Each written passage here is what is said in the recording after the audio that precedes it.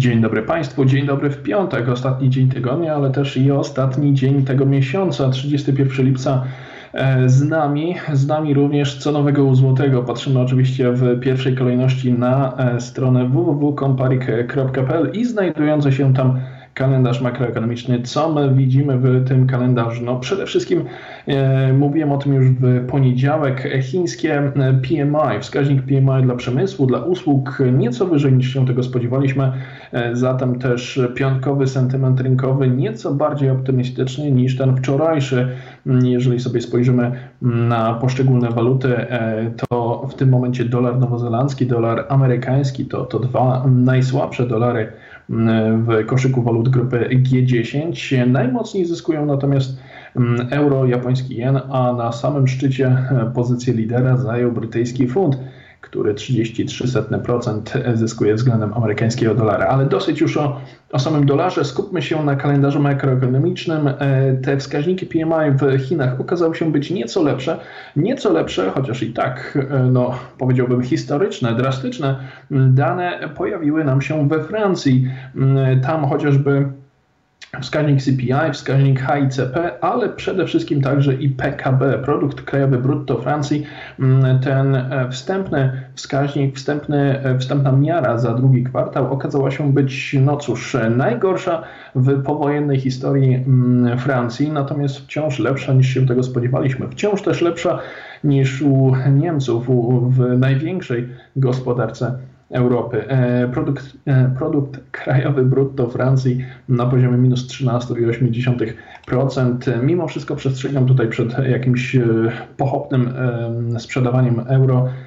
Ten wynik nie tylko jest lepszy niż się tego spodziewano, ale przede wszystkim spodziewaliśmy się tak niskich wyników, więc tutaj zaskoczenia w żaden sposób nie było po godzinie, po godzinie 10 tak naprawdę czekać będziemy już tylko i wyłącznie na kolejne dane z strefy euro. Mówię tutaj o wskaźniku CPI, o europejskim PKB. Mm, te dane już za 57 minut, e, te dane też są ważne, natomiast podobnie jak w poprzednich dwóch przypadkach, mm, te dane, e, czy tych danych już oczekujemy, więc, więc tutaj też jakieś e, znaczące rozbieżności pomiędzy mm, aktualnym a, a poprzednim odczytem no raczej nie powinny tutaj wywierać drastycznego wpływu na, na euro.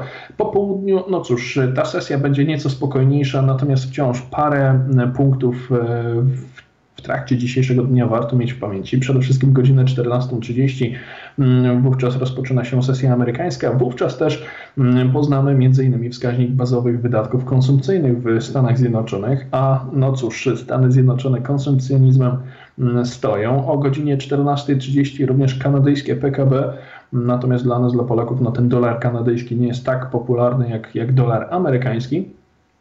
Zatem e, już o godzinie 16 będziemy skupiać się na indeksie nastrojów konsumentów Uniwersytetu Michigan.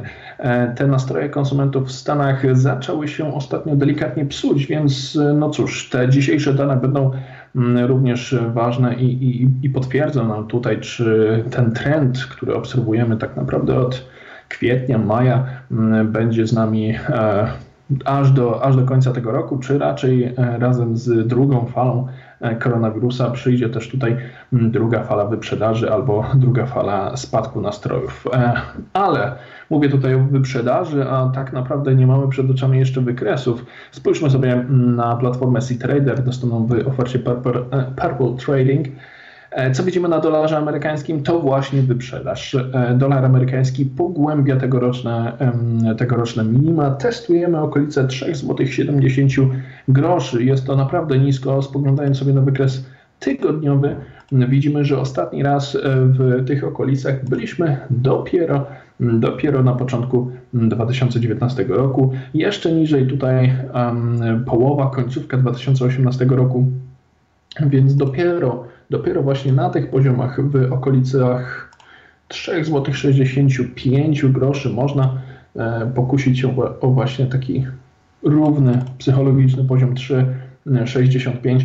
Tam wypadałoby kolejne, mm, kolejne kluczowe wsparcie. Dlaczego kolejne i dlaczego kluczowe? No przede wszystkim jesteśmy na wykresie tygodniowym, natomiast kolejne bowiem wydaje się, że poziom 3,73 groszy już nie powstrzyma nas przed dalszymi mm, spadkami. Znajdujemy się wyraźnie poniżej tego poziomu.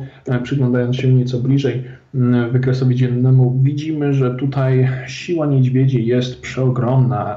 Tą siłę niedźwiedzi widać też na wykresie 4-godzinowym, chociaż no, podobnie tutaj jakby w przypadku kolejnych par, o których będę mówił, tutaj powoli, powoli zaczyna dziać się coś, co moglibyśmy uznać jako, jako spadające momentum, te, te momentum spadkowe czy niedźwiedzie momentum, tak, e, które powoli, powoli nam tutaj mija, natomiast wciąż zarówno z punktu widzenia fundamentalnego, jak i technicznego dolar amerykański względem polskiego złotego powinien nadal zniżkować, więc okolice 3,73 zł jeżeli powtórnie przetestowane w trakcie najbliższych godzin, mogą stanowić całkiem intratne miejsce, całkiem atrakcyjne miejsce do wejścia w krótkie e, pozycje. Natomiast warto też pamiętać, że mm, jesteśmy tutaj e, już po raz ostatni w tym tygodniu. Przed nami weekend, a po weekendzie oczywiście zawsze jakieś luki mogą się pojawić, więc mm, przestrzegam tutaj przed nadmiernym ryzykiem.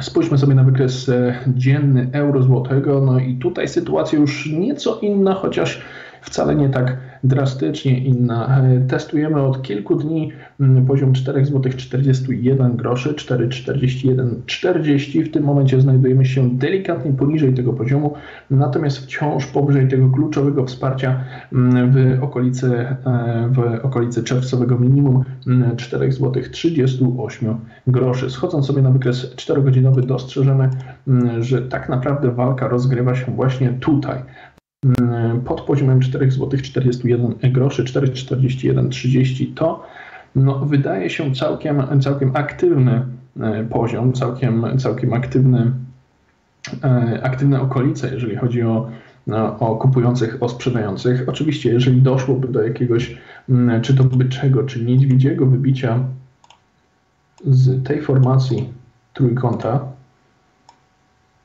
no, nie jest ona może klasyczna, natomiast e, dosyć wyraźna. Jeżeli doszłoby do jakiegokolwiek wybicia w którąkolwiek ze stron z tej formacji trójkąta, wówczas Podobnie jak w przypadku dolara amerykańskiego, nie wahałbym się e, dołączyć do trendu, bowiem ten trend jest dosyć wyraźny. Polski złoty mocno się umacnia ostatnimi czasy względem większości walut, ale to ma też e, swoje odzwierciedlenie, czy jest to odzwierciedleniem ogólnego sentymentu rynkowego, więc tutaj wszystko zależy i zależeć będzie właśnie od sentymentu.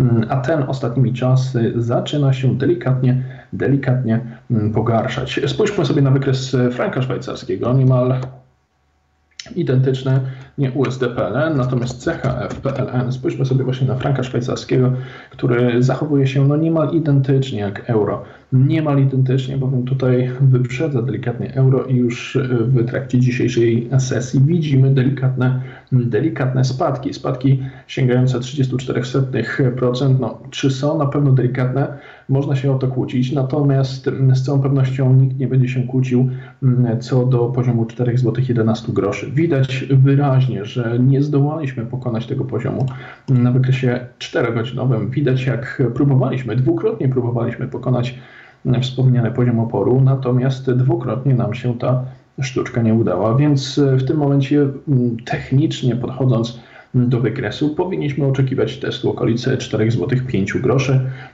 więc no, posiadacze krótkich pozycji na franku szwajcarskim mogą, mogą e, ten weekend spędzić nieco spokojniej, chociaż podobnie jak w przypadku dwóch poprzednich par walutowych, Raczej bym tutaj przestrzegał przed e, nadmiernym ryzykiem, mm, bowiem, no cóż, ten weekend również może przynieść e, kilka niespodziewanych zmian, ale od nich, e, o prawdopodobnych zmianach w trakcie tego weekendu już za kilka minut w programie to warto wiedzieć. Frank szwajcarski odbija od poziomu 4 zł 11 groszy, czyli od najważniejszego w tym momencie poziomu oporu.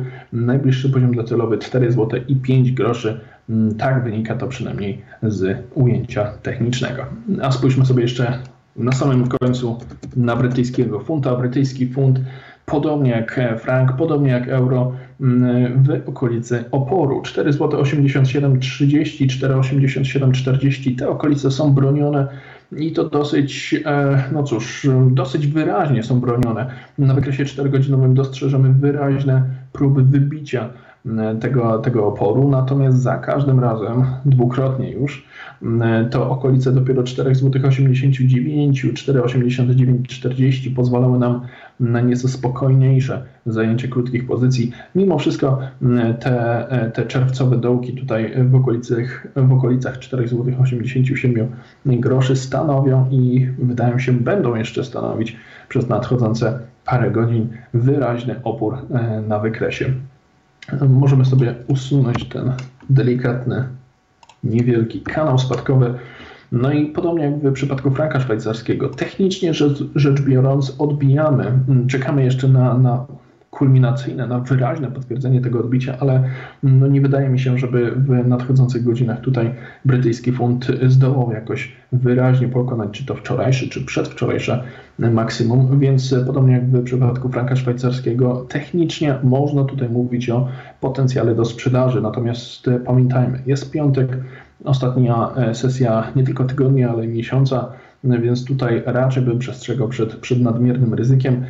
Jeżeli w poniedziałek sytuacja się nie zmieni, wówczas, no cóż, niezmiennie 4,87 40, 4,87 50 te okolice powinny bronić nas przed głębszymi korektami, natomiast dopiero, dopiero okolice 4 zł 79, mógłbym powiedzieć nawet 4 zł 80 groszy powinny być traktowane jako poziom docelowy, poziom na którym możemy spokojnie zaksięgować zyski. No i cóż, e, dosyć optymistycznie kończę cenowego złotego. Serdecznie Państwu dziękuję za uwagę. Zapraszam na krótką przerwę. Po niej to warto wiedzieć.